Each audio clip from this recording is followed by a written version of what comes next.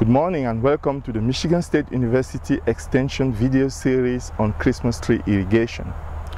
Today I will try to answer your question about the need for irrigation of Christmas trees in Michigan.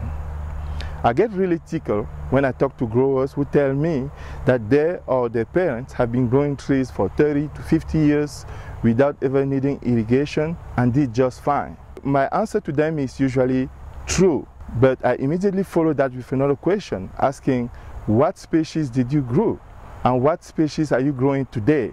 If you look at the farming landscape, Scotch pine dominated the industry in Michigan for a long time.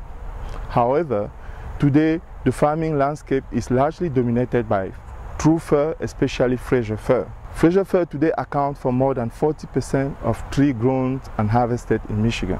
The problem is Fraser fir is not native of Michigan and originates from the mountains of western North Carolina, Virginia and Tennessee.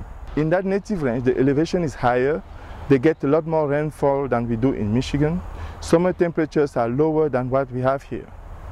Therefore, if you want to reduce your transplant mortality, if you want to improve your growth, if you want to shorten your rotation and produce a more consistent crop of Fraser fir, you should consider installing a system to provide supplemental irrigation for your trees.